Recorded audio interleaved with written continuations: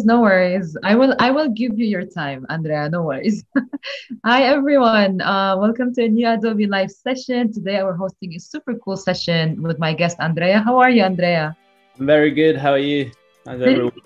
Pretty good. So Andrea is a base is based in London. He's a photographer with experience in both corporate and freelance photography he's always looking for different ways to look at things and to move away from photography stereotypes. And today we're going to learn all about the magic he's going to be creating on Lightroom, Photoshop, and all the editing. And he's going to include some typography uh, tips as well. So I can't wait for you to see that. I just want to say before we start, a huge hello to all our community that is watching us right now and the live chat. We have a very busy chat today. Hi, Christy, Emma, Stuart, Oliver, um, Andreas, so many people over here. And if you are joining us from YouTube, do switch to behance.net slash live so we can take your questions, say hello to you, and you can just join the community here live. Um, and and yeah, so Andrea, um, I'm super looking forward to see what you're gonna show show us today.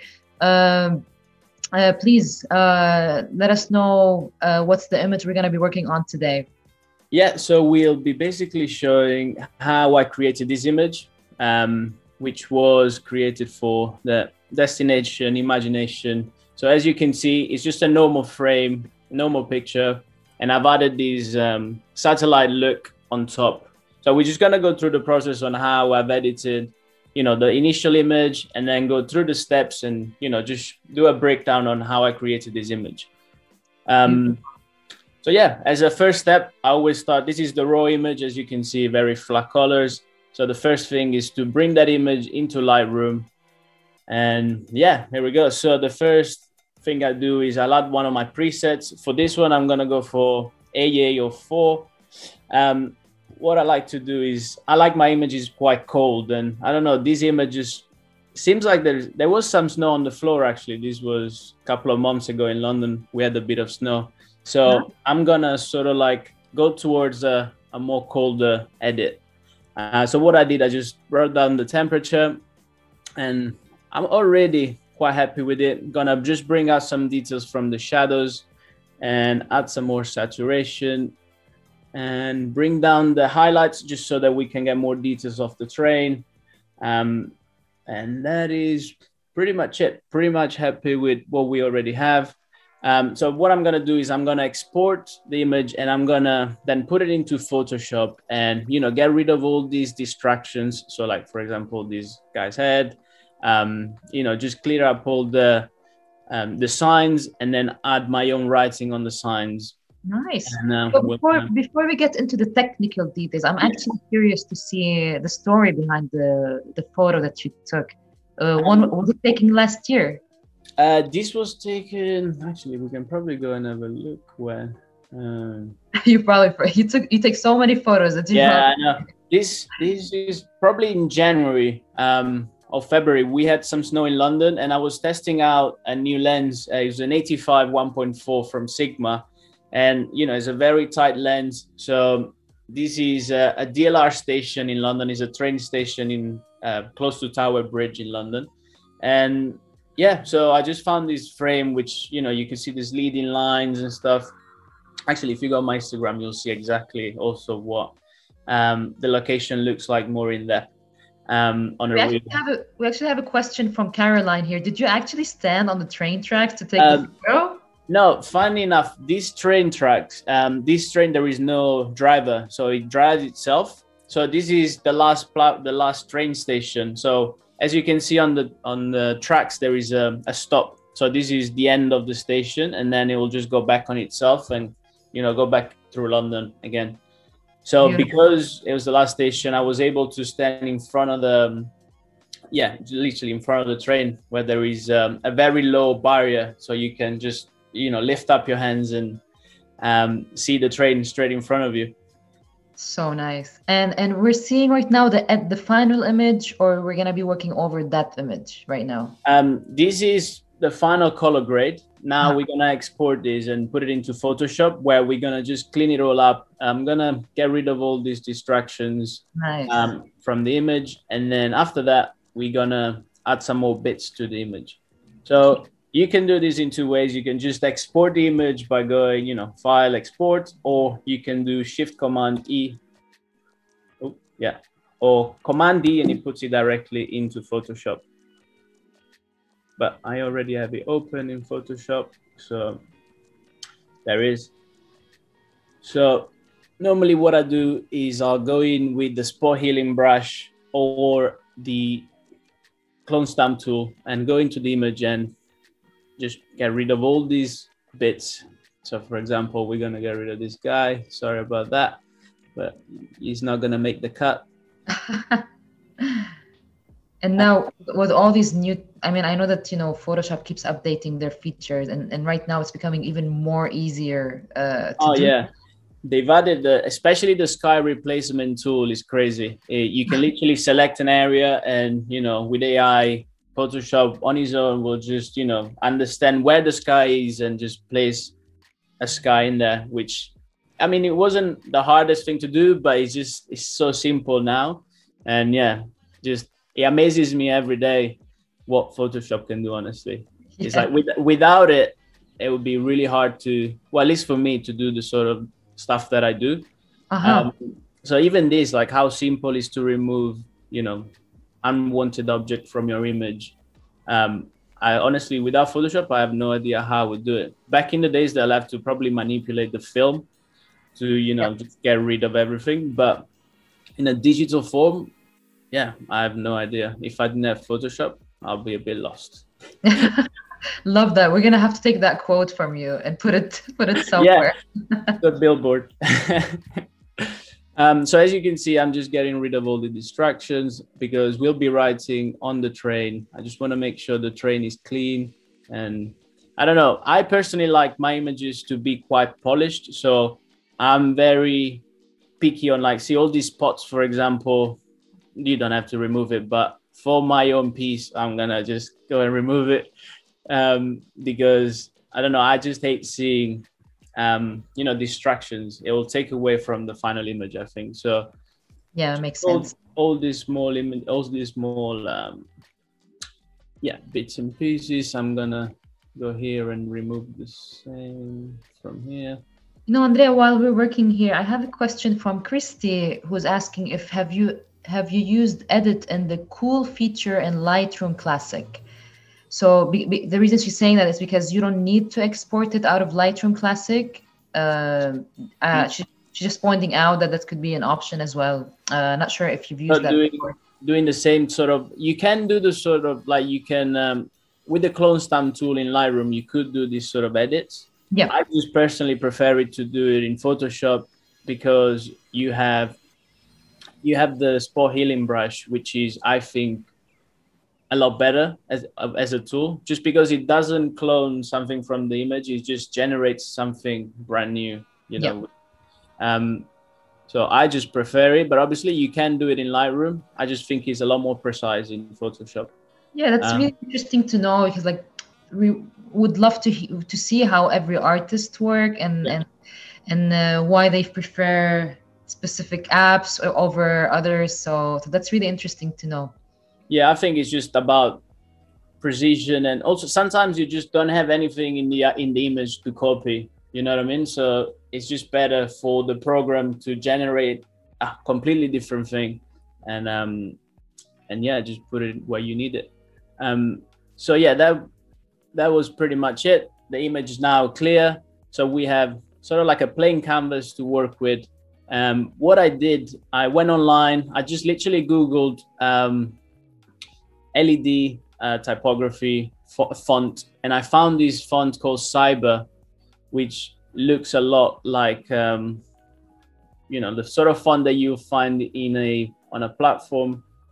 So what we'll do is yeah, and just also like this is kind of like an invitation for everyone to know that we do also have Adobe fonts, uh, yeah. which is like this crazy gallery of of amazing options. Uh, so it is easier for for like in case you are looking for a specific font uh, i understand that you would go for an external source but i've i've used like the, the collection that the adobe apps have and it's just like it's crazy oh yeah, there is so much in there it's, and it's just right there you can just go ahead and use it in your work. I think it's fascinating.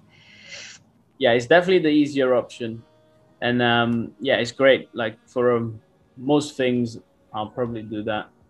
Um, my, my. And how long have you been in the photography industry, Andrea? Was it out of like was it something that you grew, that you began from passion or for or did you get a job and you began how did it all start um honestly i it started because um i didn't like my job i used to be a store manager uh, for a company and you know i just found myself a bit frustrated on the everyday work so photography for me i just picked up a camera and photography for me was an outlet to you know just create um, and you know just express myself because I wasn't too well with the rest of my life. Photography was just my outlet, and just slowly progressed into it, and you know just went out and shooting every day. I sort of kind of slowly found my voice. Uh, you know, shooting in London every day, and you know I've sort of started loving urban photography, and through my social media account from that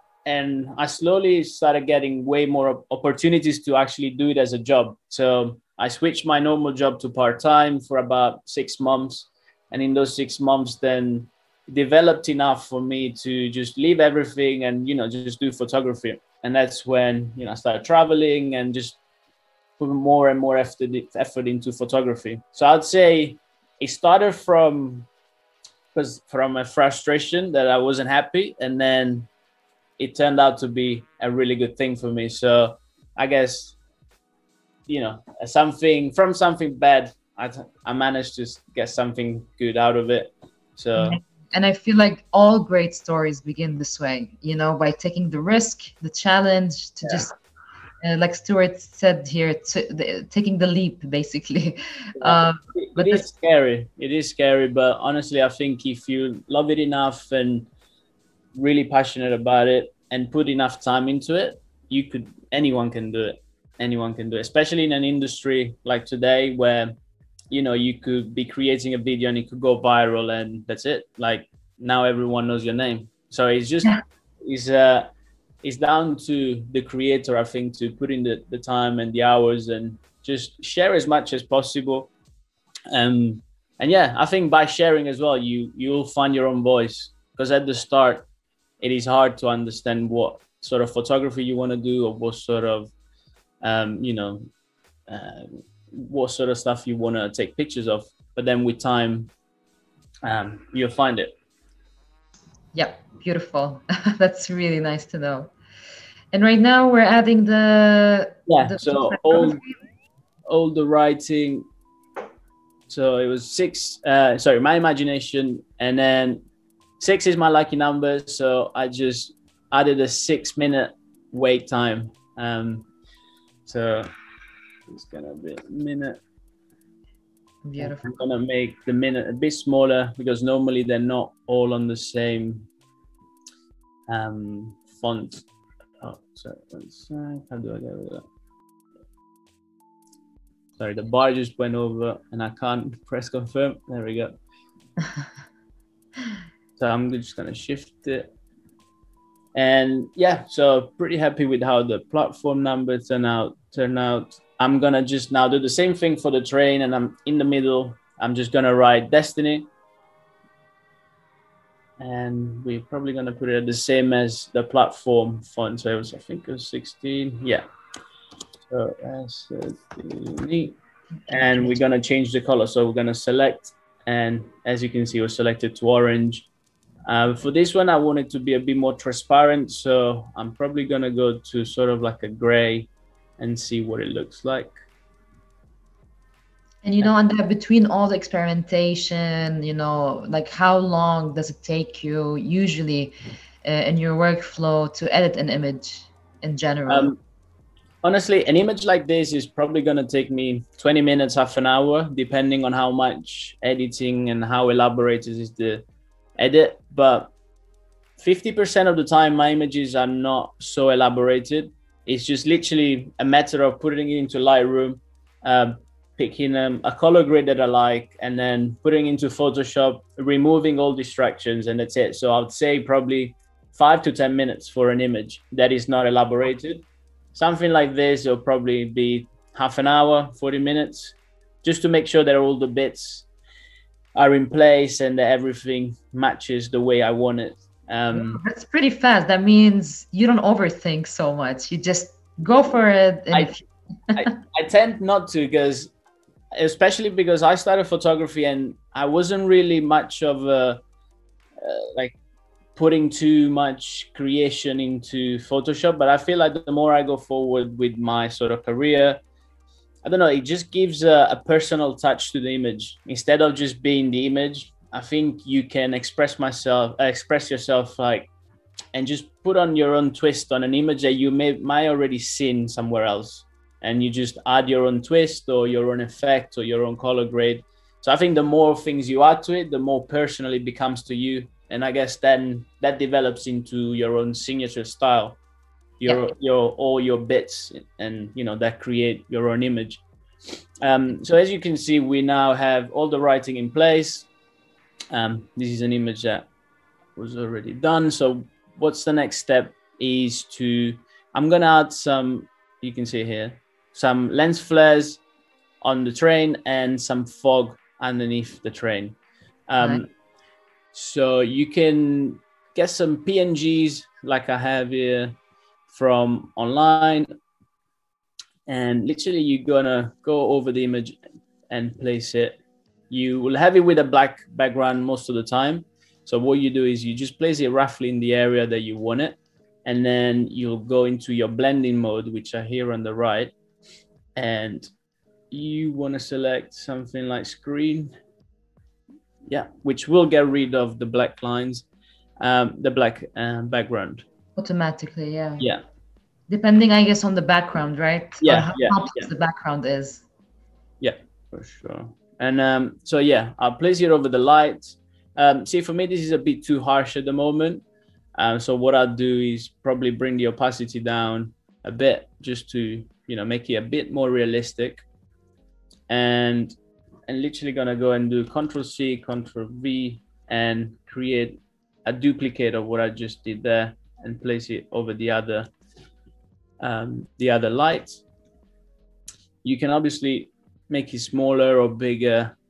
I'm pretty sure I did a smaller version on the original image. So we're gonna go, I'm gonna go in and, oh, sorry, there we go. I'm gonna go in and make this a bit smaller, just so it's not too this taken away from the image.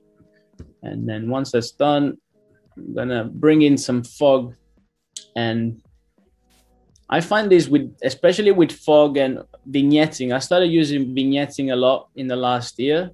I feel like it brings a lot more um, focus to the image. And how? Uh, sorry, just for those who are not familiar with the term, like myself. Vignetting. vignetting, which is like adding the. Uh, yeah, vignetting is adding like basically in all four corners there will be sort of like a black sort of faded which will create it's like a circle if you imagine a black circle around the image yeah but obviously not a very dark circle it just makes the corners of the image a bit darker so that your eye is drawn to the middle of the image and wow that's that's that's interesting. And i know that there's two options. You can either have it black or white. Yeah so you can either the normal way is to do it black and then you can invert it and obviously go the opposite way and makes the corners white. Uh, but i feel like I never use the white one, but some people do. Is it depends on a lot on the image that you're editing and you know what sort of results you're trying to achieve. Um, we're gonna literally do the same thing, and again with the screen blend, I'm just gonna make this bigger and then drag it down so that it's a bit more faded. There we go. That's so you can see where we started and sort of like you could have it like that but i think just this this sort of stuff adds a bit to your image and i think it can it draws your the viewer attention a bit more um obviously you can go crazy with it and then start adding a lot more but um i tend to not add too much because it can become a bit distracting again um so let's just work on this um so the next thing i'm going to do is what i'm, I'm going to cut up the top of the image so that this will create then a gap for us to go in and, and place the satellite view of Earth into the image. My computer might crash a bit, it might be a bit slow, but we'll get there. Um, Whereas we always have a backup plan for that. Tim yeah. will be able to help us. um, so these, I'll do this on a lasso tool. So you want to kind of zoom in quite a lot in the image. So you want to see what sort of edge you're working with. Um, and yeah, just literally slowly going and cutting all around the image so that we have a gap. You could do this by using other tools. There is an automated tools as well that you can uh, use, but I feel like with the lasso tool is the most precise way you can do it. It's a bit more time consuming because you have to do it manually. Um, but you could do it automatically with I feel like it's more definite though, like more the sorry, like the define more specific when you do it uh, like that that manually, right? Yeah, manually the corners will be a lot sharper and is I think is just a better way and to make sure that you haven't missed oh let's go back. Oh, sorry. We got you uh, distracted there. Nah, don't worry. And um, yeah, I think this is the best way to make sure you don't miss anything because yeah, yeah just double checking that you're doing it the right way. So once we have done this, we will basically removing this we're removing this building from the picture and we'll have a gap on the top of the image where right. we can actually drag and drop our satellite view. Fashioned way, the old fashioned way, because here we have like uh, Tim saying the content aware trace because yeah. that's also like a tool that we could use. But we're gonna be cool today. We're gonna use the old fashioned way. We uh, we go in classic today. classic. um, but we're, we're almost there. Um, do you usually listen to music while you edit, or that's too distracting? Um, it really depends on my mood. Sometimes I, I literally like to sit in silence and, you know, we just work on the image. Sometimes, you know, I'll just put on a coffee and just blast some music. Um, but yeah, it really depends on my mood. Um, when it's an important project, I like to do it without music, just yeah. just so is um, so I focus even more. Um, so we gonna then go into the image Boom. So that's gone. And so now we have basically, uh, deselect. We have a space on top of the image where we gonna drag and drop our video. Wow. So this was downloaded. Um, you can find this on Adobe Stock as well. Um, yeah. Oh, you also have like this. You have a free collection as well, uh, in case uh, people are wondering. But that, yeah, uh, right now Adobe Stock has this amazing collection of audio too and motion. It's just mm-hmm. fascinating. Um, what we're gonna need for this it is a video timeline. So you go into top. There's a window section, and we find timeline. So we're gonna create a timeline Wow, this completely changes the mood of the image. Like yeah, comparing and, to, the, to the first one to now. Yeah, and you're gonna see once it starts moving as well, is it's just gonna take on a whole new dimension, and I think he adds a lot to the image. Um, so yeah, as you can see, I'm gonna make this a bit smaller. Very good. Yeah. Uh, there we go. My laptop is just dying there. Let's hit play. Um, and then let it play. So this is probably just rendering because my laptop is not going to keep up. But as you can see, Ooh, the world moving. And yeah, as you, it just adds a, a new layer to the image. Um, and once we'll export this, you'll see it's just a crazy difference. Um, but that's a pretty much it in terms of the Photoshop uh, structure. I'm going to show you what sort of exporting export settings. I use yeah, pretty uh, interesting in that one. Um, where is it? Uh, export and then render video, and we're just gonna call it final version on the desktop, and yeah, let's render it. I'm pretty sure I already have it re oh, rendered because it took a while before. So, I mean, we can wait. Hmm? And then, um, so would which would which file would you have this in to MP4, like you said, right? Yeah. It's gonna, yeah. And how about I have how about exporting it to GIF? Would that also as a Um, GIF file? Yeah, you could do that. Um, I just feel like the MP4 GIF sometimes is better for like um, sort of web um, posting. I find that because it's just a bit lighter. Yeah.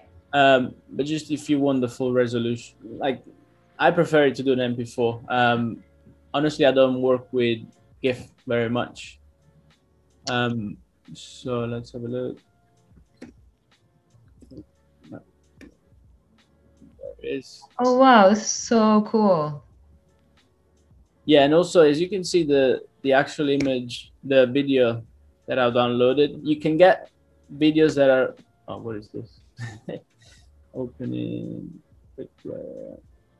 Um yeah, so if you get a flatter video on top, it won't have the same diff- uh, the same sort of effect. As you can see, this video sort of adds light into it as well. Yeah, yeah, definitely. So I think that adds even another layer to your image. So the, the wall goes from nighttime to daytime instead of just being a, a spinning globe, which obviously will work, but I think Yeah. slightly better with a bit of light and um, yeah, be more love loving the combination between you know moving images and a still image. That's beautiful. And you know, I wanted to ask you, Andrea, in your biography, uh, you say that you like different and you don't settle for average. Uh, would you like to share your insights on that one? Yeah, for sure. Um, I think it's about you know, especially on. I see this happening a lot. For example, in the Instagram community, where you know someone goes to a. It's almost like the way you see a photography place, or you travel to a country and you don't. You just don't want to settle for the image that you already seen. I think that's like kind of it's too easy. Like I like to sort of go there and try and find a different angle or shoot through objects or just finding a different way of looking at things that we've already seen a thousand images of. Because I think Yeah. that's what makes it different. Otherwise, you'll just have the same image as everyone else, uh, Yeah. which I think it takes away from the actual creative part of photography or just digital art in general. Um, we can obviously get inspired by people and you know that's how everything starts but it's nice to add your own layer of creativity above um, your creations Yeah, amazing. And then because you know, in the end, we create our own trends, right? Like I know that we are obsessed with following certain trends in the creative industry, you know, just to keep up with everyone. But the beauty of it all is to experiment and create your own style. Uh, i think especially on social media it's good to do trends and stuff because you know we all like numbers we all like to grow with the numbers and stuff but um, once you're actually able to create your own trend that's where you see the real difference. Um, so i think a good mix of like doing trends and then also trying your own spin on stuff. Just so people have the opportunity of you know seeing what you're doing and you know maybe copying your sort of work. And i think that's the end goal is to you know just sort of innovate our industry because if we're all pushing for something new then eventually some of us will create something amazing you know what i mean exactly. Yeah. um, And what is what is a stereotype image for you? I know that also you mentioned that you would like to to stay away from that and create your own thing. So what would be, you know, a stereotypical image, for instance? Um, for example, if you see an image that went viral on social media and you go to an image, say, of Tower Bridge in London. So you see that, you go to London, you recreate the image. For me, that is a stereotypical image. Like you've seen it, you recreated it. So it's like, it's kind of like, I, t- I, I try my best not to do that just because, yeah, as I was saying before, it just feels like too much of a copy.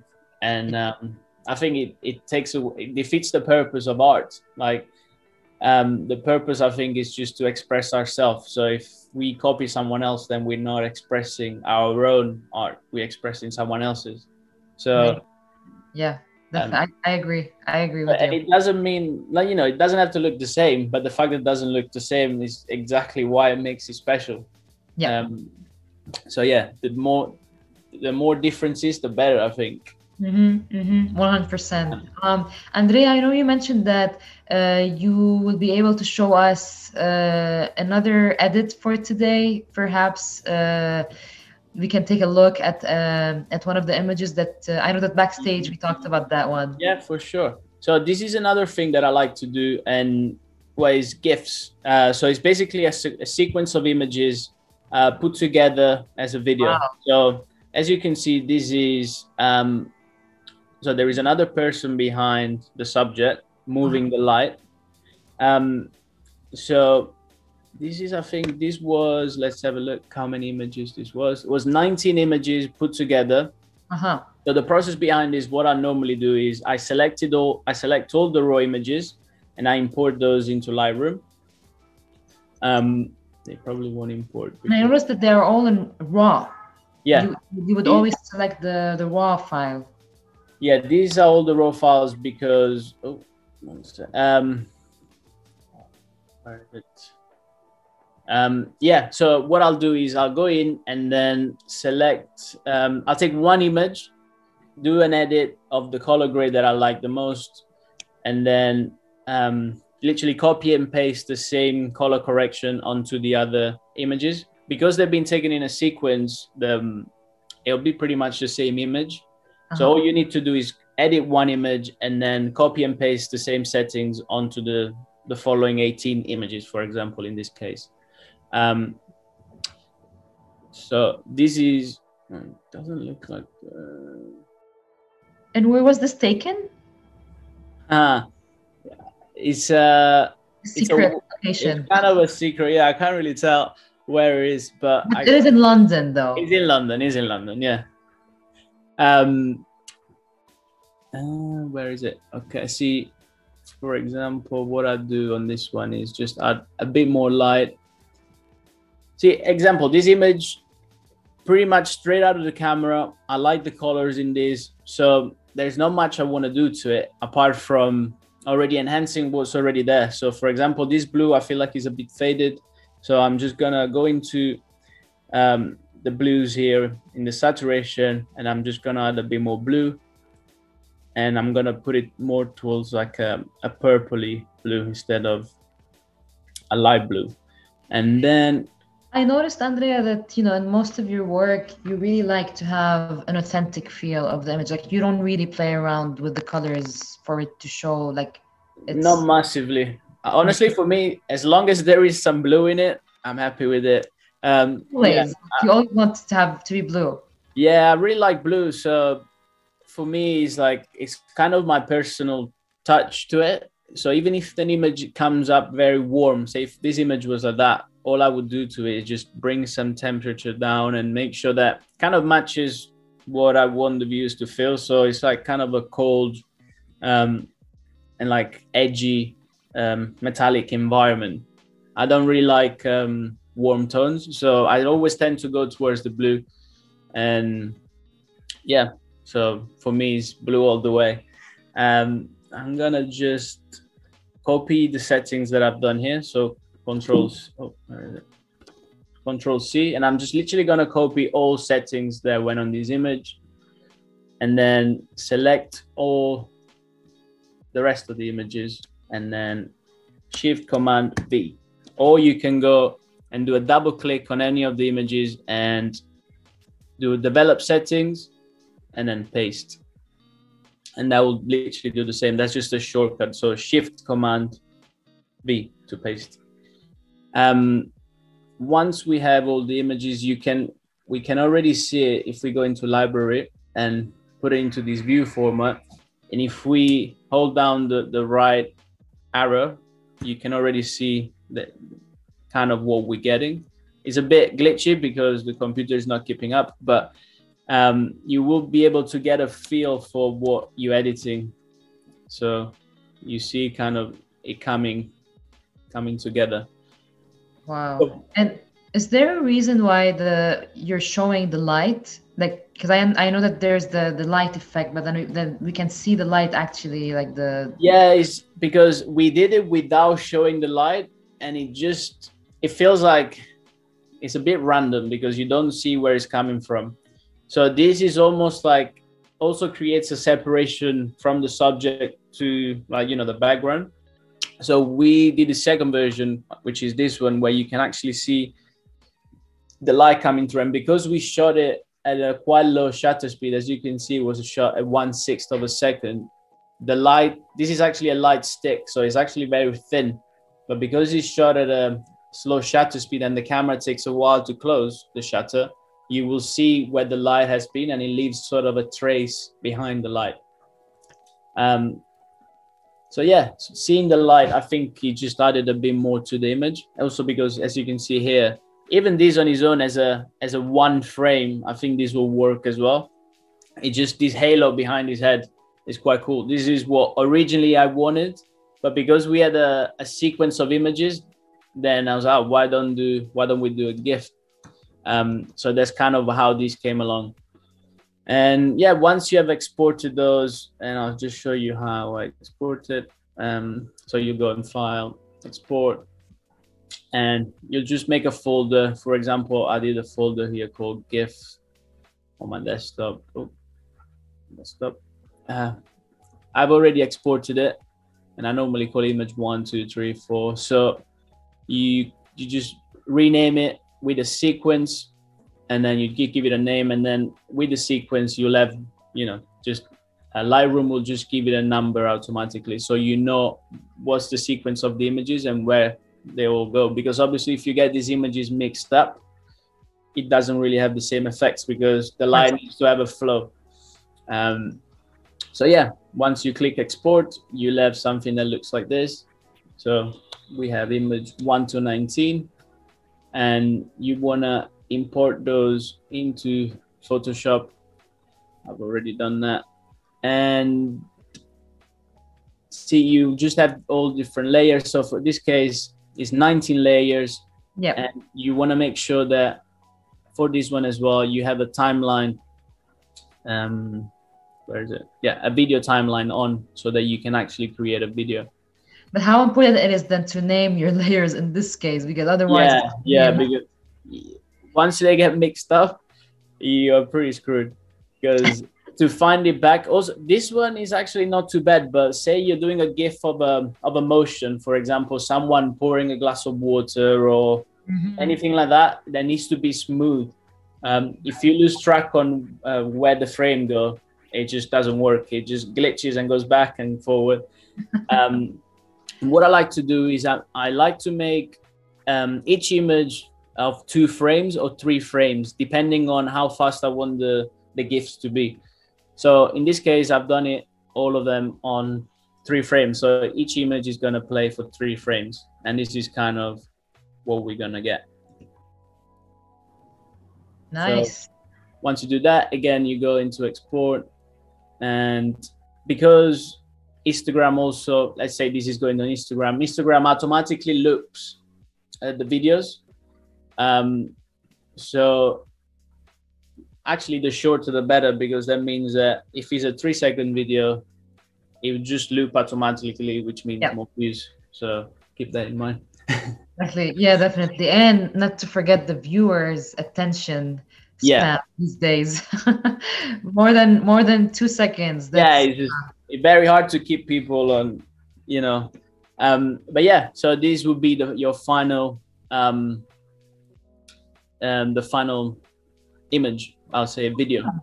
Amazing. So, you know, but have you always been interested in moving images or I believe of course like any photographer you know you would start with with just photos and static images but when was when did your passion in moving images begin and when did you start experimenting with that honestly, I feel like um, after a couple of years of doing just stills, um, I wanted just to bring my images alive, and but I've never been interested too much into video.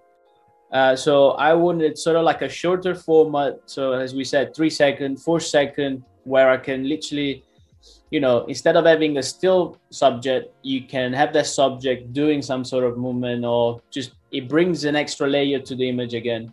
And yeah, sort of like I started, you know, taking more interest into it. And obviously, I didn't develop this technique. I saw it from somewhere else, and another create a London creator called oh, can't remember his name. But anyways, another London creator. I saw he was doing it with these. Um, he did it for um for a sunglasses company, and he was doing the motion of someone putting the glasses on.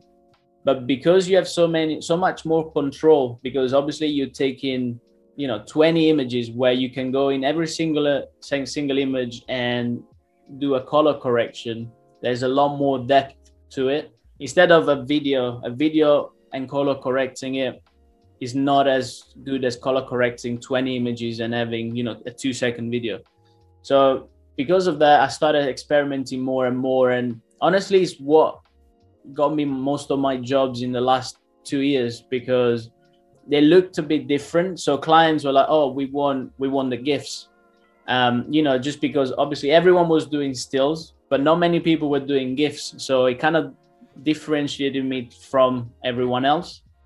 And because of that, I started getting more jobs, and so I started putting more effort into GIFs.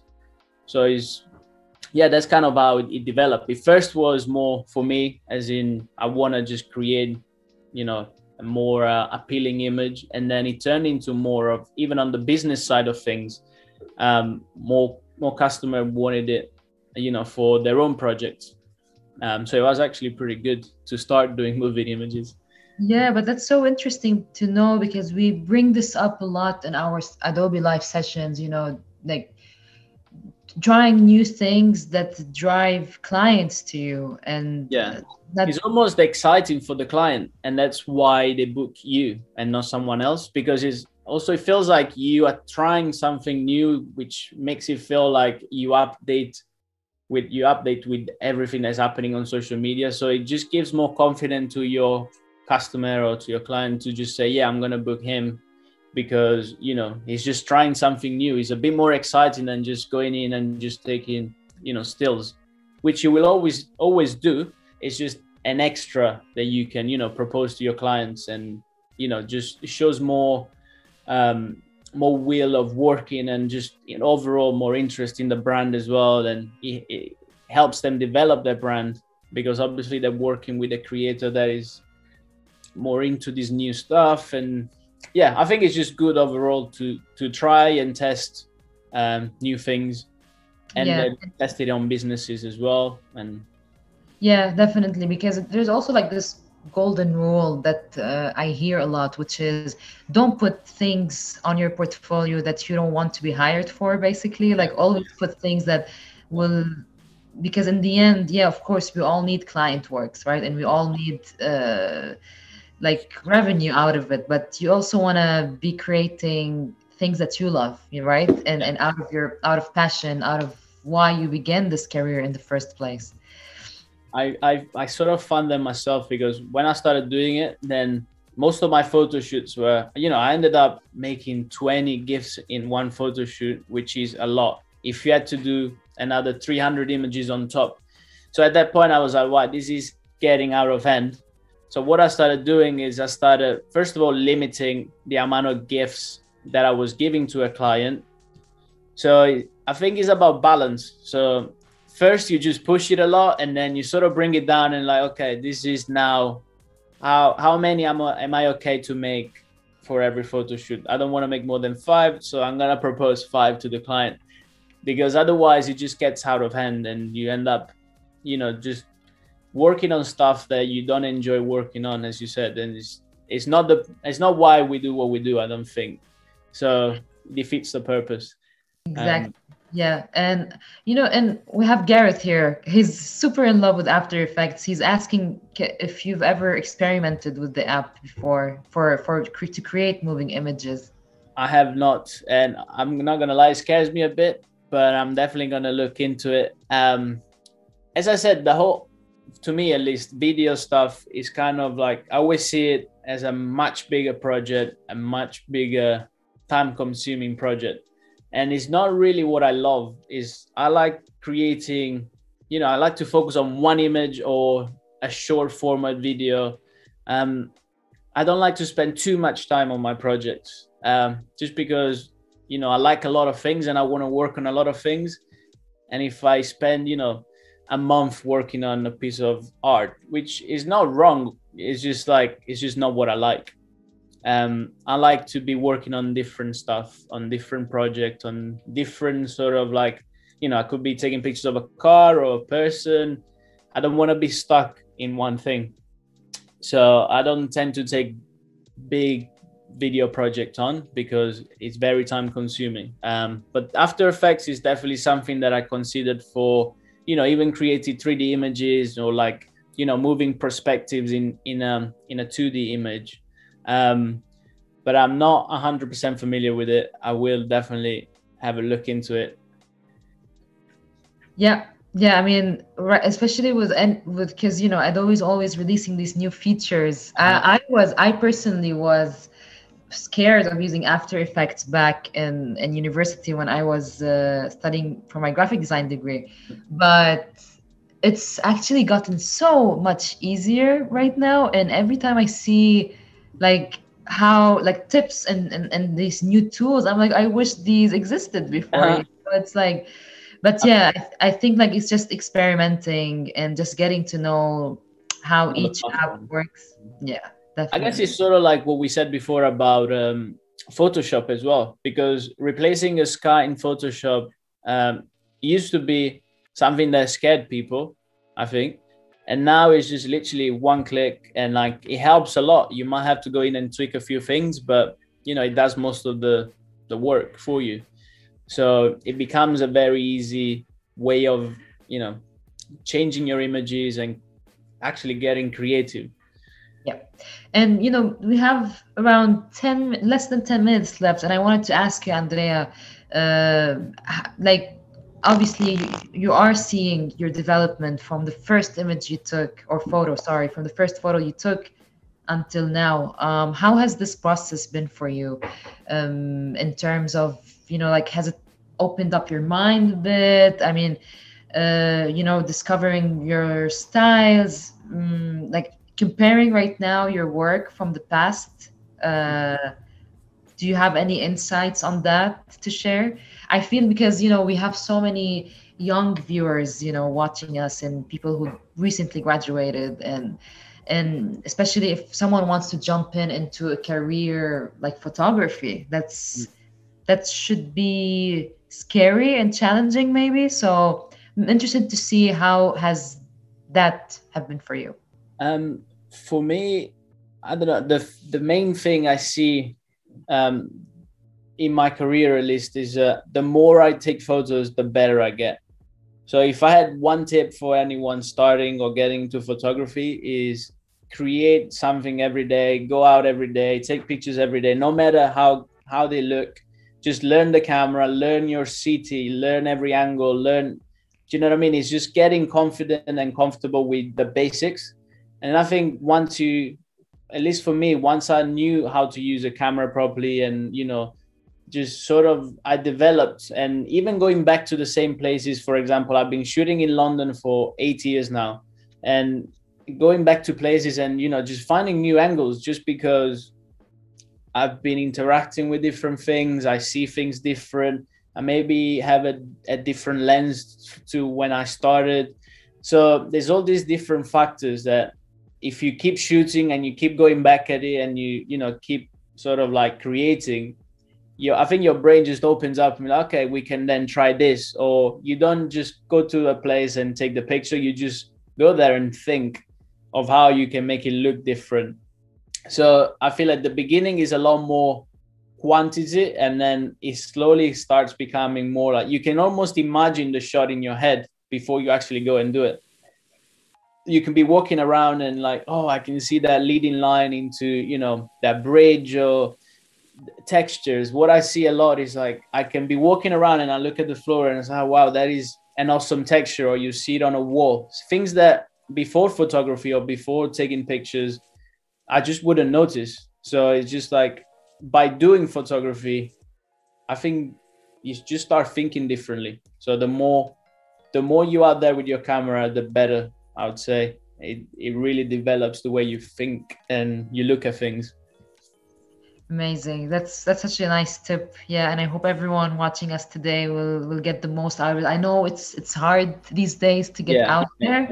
Um but hopefully things you know will get better people will be able to go out and just experiment um, and for uh, what cameras are you using um, andrea well how from where what did you start and oh. what are you using now i started... that's a crazy question i know but no, it's actually not that many cameras. I think I started on a Canon 750D um, entry level camera. I think is three hundred and fifty dollars or pounds, um, and then moved on to Nikon or Nikon, how do you want to call it? Um, I've at first, I think we kind of all love it as a photographer. We all, I loved cameras and the gear more than actually taking the pictures. Um, so I loved my camera and all the lenses, and I got into really into like looking at what lenses to use.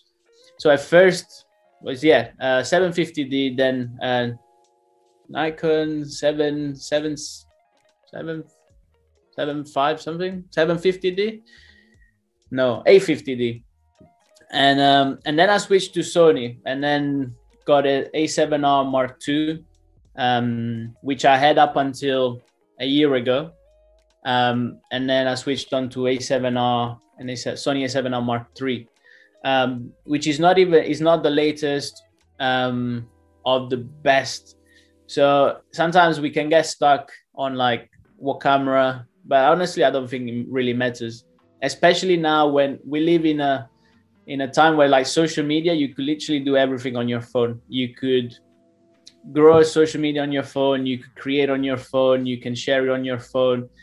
Um, is really the camera thing is important when you you know there's still a stereotype of showing up to a job where you know your client sees you on a phone and it's like mm, why are you using a phone? But they don't they just don't understand it because that phone can actually bring way more value than a camera to their business. Um, yeah. so it's about educating also the customer and you know do a mix and but yeah, I don't think the camera matters to a certain um, a certain level, but then it's more like you know what sort of the vision and sort of the concept behind what you're creating. But yeah. yeah. The reason I ask is because, you know, changing cameras, did you feel like this affected the outcome of the photos that you're taking? I mean, obviously, yes, but just interested to hear your point of view on this one. It's more like the workflow than the actual final result because the uh, you can get the same image if you have the uh, you know kind of you can create as the same image on a Canon 750D or on the most expensive Sony.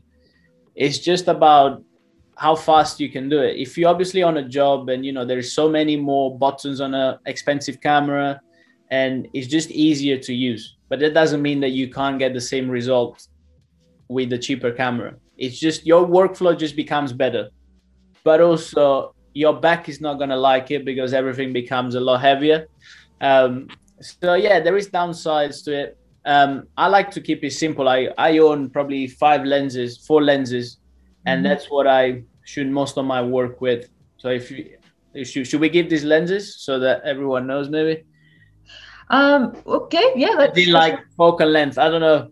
So like I shoot a lot of my uh, most of my work on a 12 to 24 millimeter, so very wide because I, I, shoot a lot of architecture and you know urban photography. So the wider you go, the better.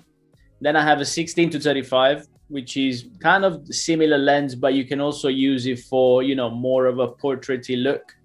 Um, then a 24, 24 to 70, which is really good for portraits and more like detail shots and then a 90, uh, 90 macro.